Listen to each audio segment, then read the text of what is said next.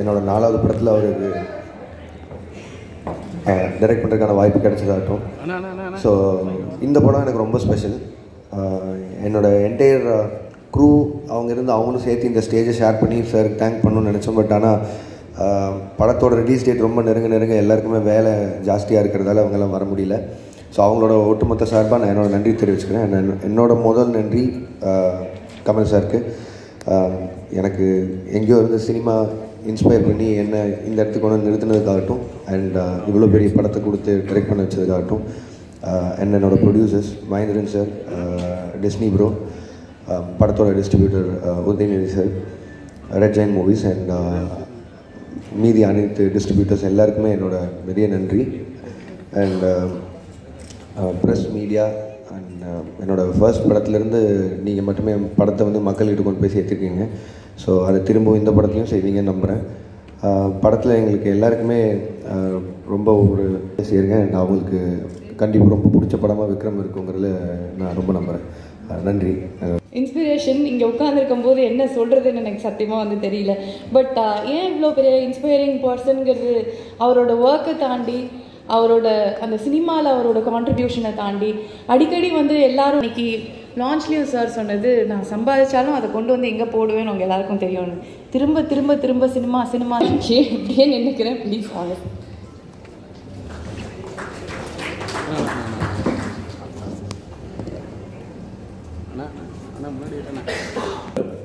சொன்னது மிக இல்லை கொஞ்சம் சுழன்று சுழன்று தான் வேலை செய்ய வேண்டியதாக இருக்கிறது. படத்தில் கூட என்ன இவ்வளோ வேலை வாங்கல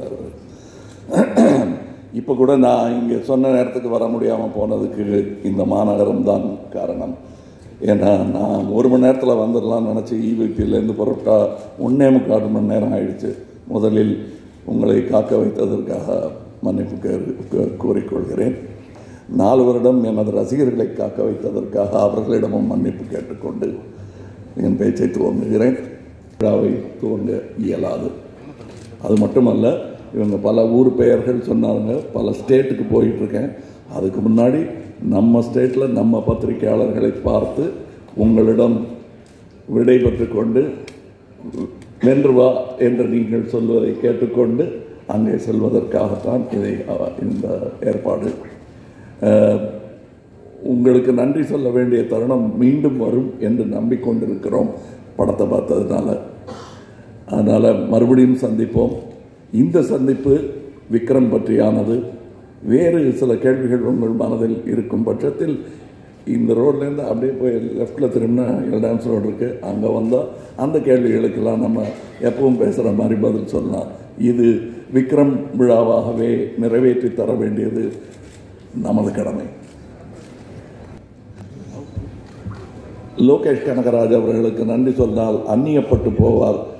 வருத்தப்படுவார் என்பதனால் அப்புறம் பார்த்துக்கலாம். பார்த்துக்கலாம். அப்படின்னு வச்சுருக்கேன். அதை வேறு விதமாக சொல்லிக் கொள்ளலாம் என்பதனால் அதை பார்த்துக்கலாம் அப்படின்னு விட்டுட்டேன் நான். கோலாலம்பூர் ஹைதராபாத் பெங்களூர் இங்கெல்லாம் செல்வதாக இருக்கிற ஒரு திட்டம் இருக்கிறது. நிறைவேற்றக்கூடிய திட்டம் என்று நம்பிக்கொண்டு தான் போட்டிருக்கிறோம். பார்ப்போம். இப்போ வர்றதுக்கு ஒரு ஒரு ஒன்றே முக்கால் மணி நேரம் லேட் மாதிரி ஒரு ஃப்ளைட்டு மிஸ் ஆச்சுன்னா இன்னொரு ஃபங்க்ஷனுக்கு போக முடியாது. இங்கே பிஆர் ஏற்பாடு பண்ணுவாங்க. எங்களுக்கு ரொம்ப நாளாக தெரியும் டைமண்ட் பாபு அவர்களை. ஆனால் பல பேர் நாங்கள் கேட்காமலே சம்பளம் வாங்காமலே இந்த படத்துக்கு பிஆர்ஓவாக வந்திருக்காங்க. நல்ல விதத்தில். நான் முந்தியெல்லாம் கிண்டல் அடிப்பேன். எங்களை திட்டுறவங்கெல்லாம் பிஆர்ஓன்னு நான் சொல்லுவேன். அதெல்லாம் இல்லாமல் நல்லபடியாக என்னுடைய தருணம் இது. அறநூறு படங்களுக்கு பிஆர்ஓவாக இருந்திருக்கிறார். அப்பா சேர்த்து வச்ச சொத்து இந்த கணக்கில் வராது. இது இவர் சேர்த்தது. அதற்கு வாழ்த்துக்கள். அவங்க அப்பா கூடயும் நான் வேலை செஞ்சுருக்கேன். இங்கே இருக்கிற பல பத்திரிகையாளர்களை அண்ணன் தம்பி என்று எனக்கு தெரியும். புதிதாக வந்தவர்களை தெரிந்து கொள்ள வேண்டும். இனிமேல் தான் பழைய ஆட்கள்லாம் எல்லாம் இருக்காங்க இங்கே நிறைய பேர் இருக்காங்க. அம்மா அதில் ஓரளவு வெற்றி பெற்று விட்டதாகவும் நம்பிக்கொண்டிருக்கிறோம். இதை மக்களிடம் ஏற்கனவே படம் பார்க்காமலே கொண்டு சேர்த்த நீங்கள் படத்தையும் பார்த்துவிட்டு நல்லபடி கொண்டு சேர்க்க வேண்டும் என்பது எங்களுடைய ஆசை. நான் பணத்தை எல்லாம் எங்கே போடுவேன் அப்படின்னு தெரியும் அப்படின்னது எல்லோரும் கைத்தட்டினாங்க மக்களுக்கு செய்ய வேண்டிய வேலையும் இருக்குது அங்கேயும் போகும் பணம். அதையும் நான் சினிமாலேயே போடுறது போக வேறு எதுலையாவது இன்வெஸ்ட் பண்ணலாமே அப்படின்னு அடிக்கடி எனக்கு அட்வைஸ் பண்ணுவாங்க. வேறு ஏதாவது ஒரு ஒரு கட்டடம் மால் கடை வாடகைக்கு விடக்கூடிய கடை இந்த மாதிரிலாம் பண்ணலாமே அப்படின்னு எனக்கு அது தோணல. விவசாயிக்கு நிலத்துல தான் அதை முதலீடு செய்ய வேண்டும் என்று தோன்றும் என்று ஏற்கனவே சொல்லியிருக்கிறேன். மற்றவங்க சொன்ன அட்வைஸை கேட்காம சினிமாலே போட்டுட்டு இருக்கான்னு நீ யாரும் சொல்ல முடியாது. மக்களுக்காகவும் அந்த இன்வெஸ்ட்மெண்ட் நடக்க போகிறது. அதற்கான ஆரம்பம் தான் நான் நான் இந்த விக்கிரத்தையே அதை நினச்சி தான் இது மாபெரும் வெற்றியாக ஆக்க வேண்டும். இதுவரை செய்யாத வியாபாரத்தை செய்து அந்த பணத்தை எங்கிட்ட வந்து பெருசாக பணம் கிடையாது. முக்கியமான ஒரு ஒரு எதிர்பார்ப்பை அவர்களும் ஏற்படுத்தி இருக்கிறார்கள். அவர்களுக்கும் நன்றி. இதில் தனியாக முதல் விஷயம். நான் சினிமாவின் ரசிகன் நல்ல சினிமா எடுக்கணுங்கிறதுக்காக தான் நான் சினிமா எடுக்கவே ஆரம்பித்தேன். அதை இதிலும் முயன்றிருக்கிறோம். இது வேறு விதமான சினிமா. வித்தியாசமாக அது மாதிரி இருக்குமா இது மாதிரி இருக்குமான்னா அப்படி இருந்துச்சுன்னா அந்த சினிமாவை பார்த்துடலாமே. அதனால் கொஞ்சம் வித்தியாசமாக இருக்கணுங்கிறதுக்காக இந்த சினிமாவை எடுத்திருக்கிறோம். நீங்கள் பார்த்துக்கலாம் அப்படின்னு ஹீரோவை பார்த்து காப்பி அடிச்சிடுறாங்க. பார்த்துருங்க. கண்டிப்பாக பார்த்துருங்க. திரையில் பாருங்கள். அகண்ட திரையில் பாருங்கள். உங்கள் அகண்ட மனசை எங்களுக்கு ஏற்கனவே காட்டிவிட்டீர்கள். அகண்ட திரையில் எங்கள் படத்தை உங்களுக்கு காட்ட ஒரு வாய்ப்பை தாருங்கள். நன்றி. வணக்கம். அனைவரும் ஒவ்வொரு படமும் ஒவ்வொரு முத்து. இருநூற்றி முப்பத்தி இரண்டாவது முத்து நம்ம தமிழ் சினிமாவுக்கு இந்திய சினிமாக்கு ஸோ இதில் வந்து அவ்வளோ விஷயங்கள் இருக்கும். சினிமாவை பற்றி மட்டுமே கேட்க அவ்வளோ கேள்விகள் இருக்கும். இந்த சினிமா இன் பர்டிகுலர் இதை பற்றி கேட்கறதுக்கு அத்தனை கேள்விகள் இருக்கும். கண்டிப்பாக கமல் சார்கிட்டையும் லோகேஷ் அவர்கள்கிட்டயும் உங்களோட கேள்விகள் நீங்கள் எழுப்பலாம் அரசியலை பற்றி பேசுறதுக்கு அவர் எங்கேயுமே அஞ்சினது கிடையாது. அது எல்லாருக்குமே வந்து தெரியும்.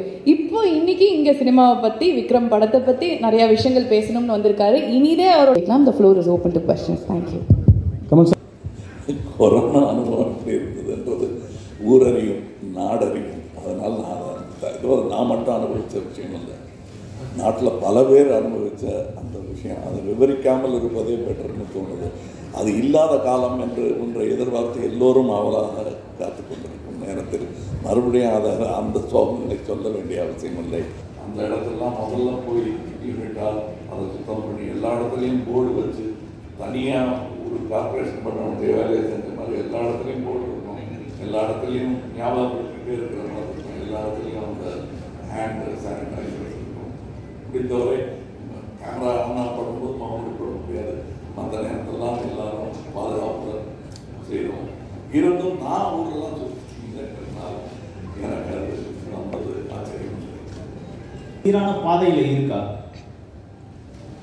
சீரான பாதை என்பது வந்து வியாபாரத்தை பொறுத்தவரைக்கும் பார்த்தீங்கன்னா அது சீரா போகும்போது நல்ல உலகத்தர சினிமா அப்படின்னு ஆசைப்படுறவங்க கொஞ்சம் கோவப்படுவாங்க. பெருசாக வியாபாரம் தான் போதுமா நாங்கள் வந்து ஒன்றரை லட்சம் ரூபா ஒரு சினிமா எடுத்து காட்ட முடியும்.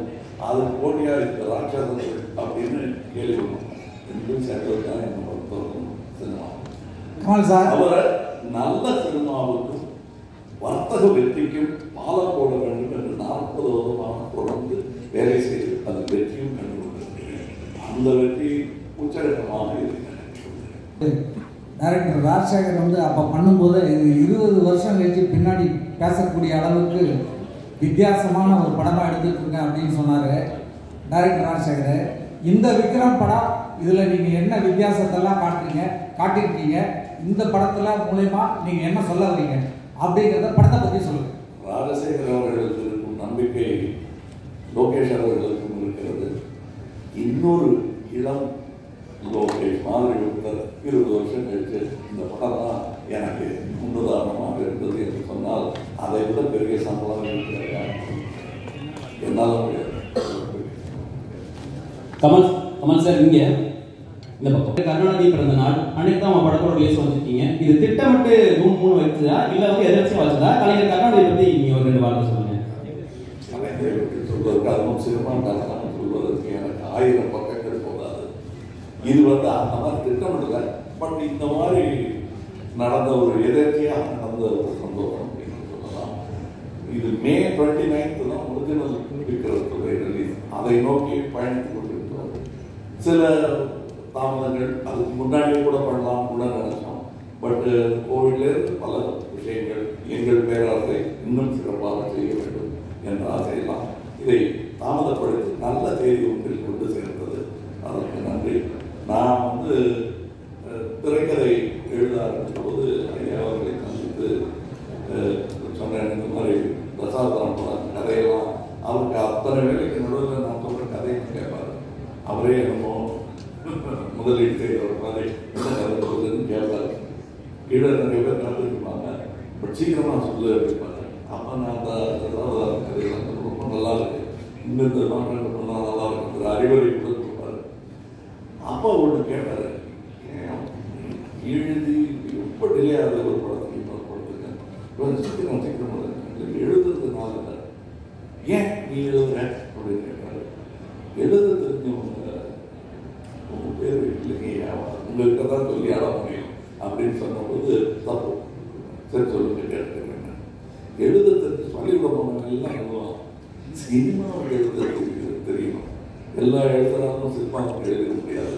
என்று அவர் சொன்னது என் மனதில் ரிங்கரித்துக் கொண்டே இருக்கிறது இது ஒரு தனி கலை எப்படி மொழிக்கு மொழி வித்தியாசமோ அது மாதிரி சினிமா என்ற மொழி தனி மொழியாகவே மாறிவிட்டது உலகளாவிய மொழி அதற்கு எழுதும் போது ஒரு தனி திறமை வேணும் என் திறமையை வளர்த்துக் கொள்ள உதவிய முன்னோடிகளில் கலைஞரை அவர்கள் மிக முக்கியமானவர் சார் இந்த படத்தை ஸ்பேஸ் ஷேர் பண்ணியிருப்பீங்க உங்க நடிகர்களாகட்டும் இல்லை தொழில்நுட்ப கலைஞர்களாகட்டும் சட்டுன்னு இந்த படத்தில் முழுக்க முழுக்க ஒரு எம் டேலண்ட்ஸ் கூட நீங்க டைப்பானவருடைய நோக்கம் என்ன? அது உங்களுக்கு ஃபுல் சாட்டிஸ்ஃபைடாக இருக்கா? தொடர்ந்து அது பண்ணுவீங்களா?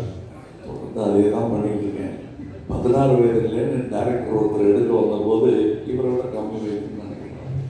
இல்லை இவரோட கொஞ்சம் ஜாஸ்தியாக இருக்கும். வயசு, அவ்வளவுதான் அதே மாதிரி பாலுமந்திரா அவர்கள் கோகிலா எடுக்கும்போது நீங்கள் அடிக்கடி ப்ரெஸ் மீட்டில் பார்த்தது அந்த பாலுமந்திரன் இல்லை இளைஞராக திருமாண்டக்காரராக இருந்து டைரக்டர் ஆகணுங்கிற ஒரு பெரிய ஊக்க உத்வேகத்துடன் அந்த அந்த டேரக்டர் பரதனை அவர்களும் அப்படித்தான். நாங்களாம் டெக்னீஷியன்ஸாக இருந்த காலத்திலிருந்து நட்பு இருந்தது. அதிலிருந்து வந்தது. பெரிய டேரக்டர் ஏற்கனவே அஹ், தாவிதமான டேரக்டர் அப்படின்னு பார்த்தா அதிக பாலச்சந்திரன் அவர்கள் அஹ், மும்தாஸ் அதுக்கு அவர் கூட பாலச்சந்திரையா கூட முப்பத்தாறு படம் பண்ணியிருக்கேன். அந்த மாதிரி வேற எந்த அவ்வளோ தொடர்ச்சியாக செஞ்சது கிடையாது. அது என்ன என் லைஃப்லேயே ஒரு கிடையாது அது வணக்கம் கமல் சார் இல்லை சார் அது விக்ரம்ங்கிற பேர் கேட்டது இவர் இது அதோட சீக்வல் நம்பருக்கு உங்களுடைய நம்பிக்கை அப்புறம் அந்த விக்ரம் பேரை வைக்கணும்னு நினைச்சது இவர் இவர் வந்து பல படங்களின் ரசிகர் அது இந்த படத்தில் சத்யான் கூட வச்சிருப்பார் ஆனால் விக்ரம் புரிஞ்சு வந்த மாதிரி அவருக்கு தோன்றியது அதனால் இன்னொரு ஒரு விஷயம் என்னன்னா ஒரு சின்ன லைன் ஒன்று நான் விக்ரம் ஒரிஜினலுக்காக யோசிச்சு வச்சிருந்தேன். அதை வந்து அந்த நேரத்துக்கு இது இதெல்லாம் அட்வான்ஸாக இருக்கு அப்படின்னு சொன்னாங்க. சுஜாதா நம்பர் வச்சாரு ராஜசேகர் கொஞ்சம் முதல்ல விட்டாரு சரி நான் வேற ஏதோ யோசிக்கலாம். சுஜாதா சார் அப்போ இந்த கதை விட்டு போன அந்த கதையை பற்றி இவர்கிட்ட பேசி சார் இது நல்லா இருக்கே அப்படின்ட்டு தன்னுடைய புத்தகத்தை வச்சுட்டு இந்த கையில் எடுத்துக்கிட்டாரு அதில் செதுக்கி எடுத்தது தான் இந்த படம். இந்த விக்ரம் படத்துக்கு அடுத்த?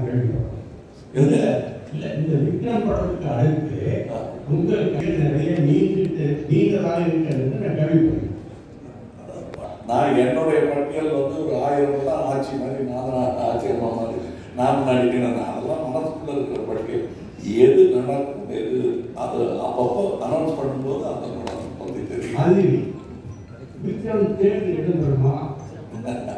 இந்தியன் டூ கிளம்பும் இந்தியன் டூ கண்டிப்பாக இடம் பெற்று ஆகணும் அதுக்கான பேச்சுவார்த்தை எல்லாம் இன்னும் நடந்துகிட்டே இருக்கு. விக்ரம்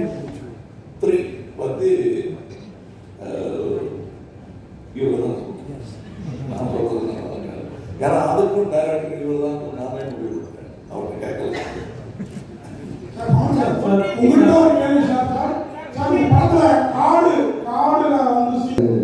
எல்லா டெக்னீஷியன்ஸ்க்குமே வந்து அதாவது தமிழ் சாரில் இருக்க எல்லையும் துப்பாக்கி விஜய் சேதுபதியில் இருக்க ஈல புல்லட்ஸ் இருக்கும் ஃபகத் ஃபாசில் வர எல்ல துப்பாக்கி அது சும்மா ஃபாண்டாக எவ்வளோ தூரம் சும்மா க்ரியேட்டிவாக பண்ண முடியும்னு சொல்லி பண்ணது தான் எங்கள் நீங்கள் சார் கேட்ட அந்த டைலாக் வந்து காடு வந்து படத்தில் வர டைலாக் அது.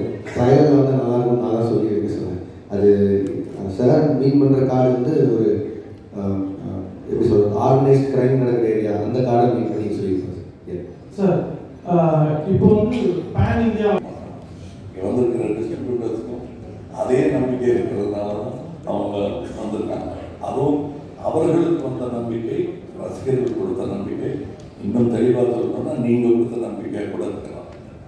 அதை பற்றி மக்கள் பேசிக் கொண்டிருக்கிறார்கள் அதனால் இதை நம்புவோம் ஆனால் ஆனால் ஃபிலிம்ங்கிறது வந்து வெவ்வேறு ஐயா சத்யஜித் ரே எடுத்ததும் பேன் இந்தியா ஃபிலிம் தான் இந்தியாவில் இருக்கிற எல்லாரும் ஆனால் சிறிய கூட்டம் வந்து அதை ஆர்வமாக பார்த்து கொண்டிருக்கிறாங்க அதே மாதிரி வெவ்வேறு படங்கள் இருக்கு பக்தி படங்கள் இருக்கின்றன ஜெய் சந்தோஷிமான ஒரு படம் ஏங்கு கேட்கிறே வந்தபோது அதுக்கு இணையாக எங்களை துரத்தி கொண்டே வந்தது அந்த படம் வசூலி அந்த மாதிரி வெவ்வேறு படங்கள் எல்லாம் பேன் இந்தியாவில் பல வகை வித்தியாசமான ஒரு பேன் இந்தியா படம் பெருமையாக நாளைக்கு ஒரு அமெரிக்கன் நீங்களாம் இந்த மாதிரி படம் எடுத்துருக்கீங்களா என்ன படம் படிச்சிருக்கீங்களா அப்படின்னு கேட்டால் இல்லைங்க இப்படியும் படம் எடுத்துருக்கோம் இதுக்கும் முன்னாடி வந்து நல்ல படம் எடுத்திருக்கோம்னு சொல்லி சொல்வதற்கான பட்டியலில் விக்ரம் இடைவர் இடம் தமிழ்ல வார்த்தைக்கு வந்து பாலாஜின்னு சொல்லலாம். இதுவும் ஒரு வந்து பத்திரிகையாளர்கள் எல்லாம் கூடி இருக்க முடியும் டைரக்டர்ஸ் ஒரு யூனியன் வச்சு நடத்தினாங்கன்னா அதுவும் ஒன்றியம் தான் அதுல தப்பு நடந்துச்சுன்னா ப்ரொடியூசர்ஸ் அதுவும் ப்ரொடியூசர் ஒன்றியம் அவங்க தப்பு நடந்துச்சுன்னா படம் கிடைக்கும் இவருக்கு யூனியன்ல தப்பு நடந்துச்சுன்னா படம் கிடைக்கும் ஏன் எங்களுக்கு சின்ன சின்ன பணிகள் செய்யும் தொழிலாளர்கள் மத்தியில் அந்த ஒன்றியங்களில் தவறு நடந்தால் எங்கள் படம் பாதிக்கப்படும் அந்த மாதிரி கூட எடுத்துக்கலாம். ஆமா சார். ஆமா சார் ஒரு நாளைக்கு ஆமா சார் ஆமா சார். இங்க கேள்வி இங்க இங்க. இங்க சார். சார் அதாவது விக்ரம் விக்ரம் படம் வந்து முப்பது வருஷத்துக்கு முன்னாடி ராஜசேகர் அவர்கள் இயக்குனாரு. ராஜசேகர் பரீட்சா விமர்சனம் நிறைய பண்ணாரு ஆக்சுவலி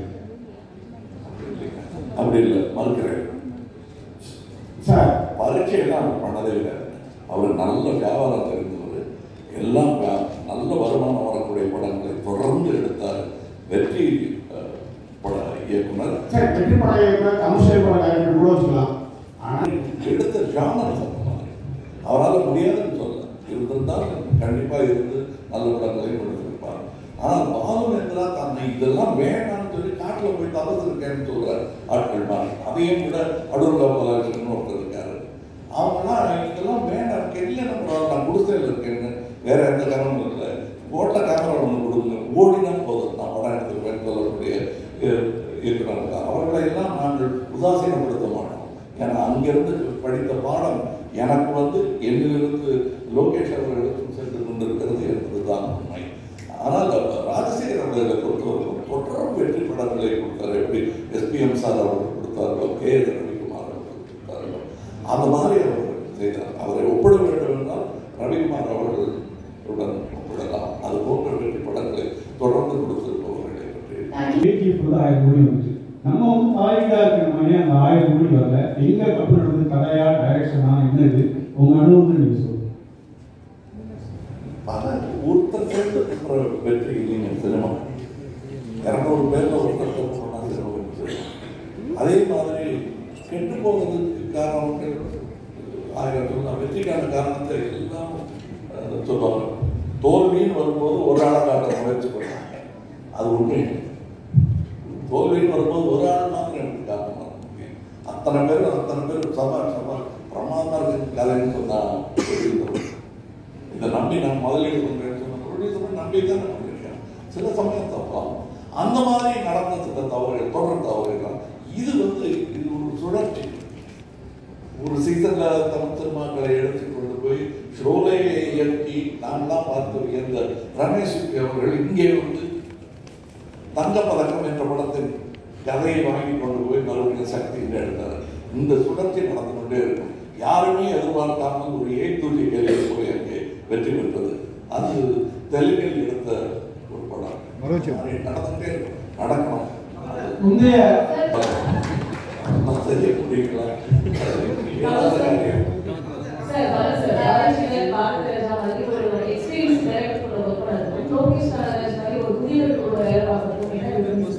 நான் ஒர்க் பண்ணும்போது மதுரை ராஜா அவர்கள் புதியவர் தான் முதல் படம். இது இவருக்கு நான்காவது அஞ்சாவது நாலாவது படம்.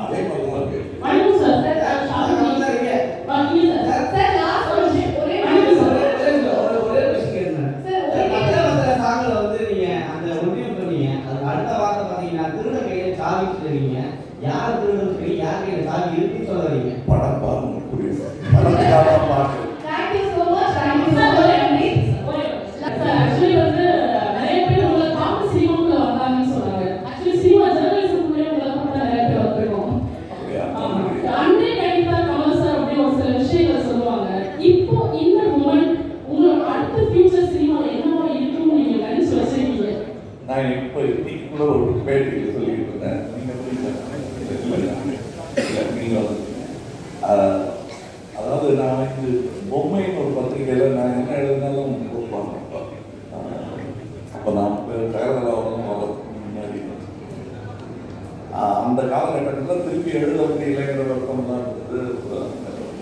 சாரதி டாக்டர் இருந்தாரு, அவர் ஆசிரியர் அடிக்கடி தொந்தரவு பண்ணி கேட்டு வாங்கி கொடுக்குறாங்க அப்போ நான் அதில் ஒரு கட்டுரை எழுதியிருக்கேன் அதில் நாற்பது வருஷத்துக்கு முன்னாடி நினைக்கிறேன் முப்பது முப்பத்தஞ்சு வருஷமாக ஞாபகம் இல்லை. அந்த சிப்ஸ் எலக்ட்ரானிக் சிப்ஸ் நம்ம உடம்பில் பதிக்கக்கூடிய மாதிரி ஒரு கதை அமைப்பு வரும் அதுக்கு திரைக்கதை எழுதணும்னு எனக்கு ஆசையாக இருக்கு ஏன்னா அதில் வர சினிமாட்டோகிராஃபர் கிடையாது டைரக்டர் கிடையாது ஒட்டி அந்த கதையை அமைச்சு கொடுத்துட்டாங்கன்னா அவர்கள் மனம் அவர்கள் எக்ஸ்பீரியன்ஸ் அவர்கள் வண்ணம் தீட்ட அவர்கள் ஆர்ட் டைரக்ஷன் பண்ண அவங்க மனசுக்குள்ள ஒரு படத்தை பார்க்கலாம் அவர்கள் விரும்பும் படத்தை அதில் சில ஹாப்பி எண்டிங் ட்ராஜிக் எண்டிங் என்று வைக்கலாம். இதெல்லாம் கூட நடக்க வாய்ப்புண்டு என்று எழுதியிருக்கேன். அது நடக்கும் தருணம் வந்து விட்டதாக நான் நினைக்கிறேன். இப்பவே சிப்பல் கைக்குள்ள வச்சு வீட்டில் இருக்கிற கருவிகள் எல்லாம் இயக்கும். வழியை கண்டுபிடிச்சிட்டாங்க யூரோப்பில் நன்றி.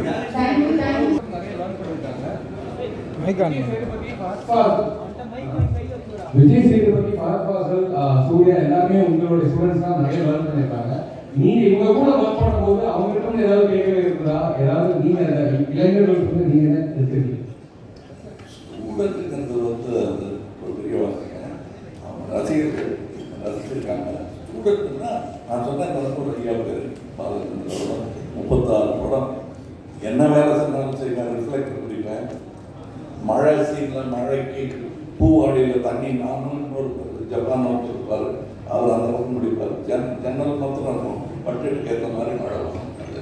ஒரு ஃபேன் ஒருத்தர் ஆகிட்டே இருப்பார். உள்ள காற்று அடிக்கும் சாரலும் இருக்கேன் லொக்கேஷன் பார்க்க சொல்லுவார் அந்த மாதிரி உச்சியில் போய் பார்த்துக்கலாம். அங்கேருந்து பார்த்தா நல்லா இருக்காங்க. அதுவும் செஞ்சுருக்கேன். நாளைக்கு கம்போசிங் வந்துரு அப்படின்னா அதுக்கும் போயிருக்கேன். அதுதான் ஸ்டூடெண்ட்டு இவங்க ரசிகர்கள். அதுக்கு ஆனால் அந்த அன்பை என் மேல் பொழிந்து கொண்டே இருந்தார்கள் படம் எடுக்கும்போது அது ஒரு பாராட்டு விழா மாதிரி தான் நடந்தது. அது எனக்கு ஒரு புது அனுபவம்.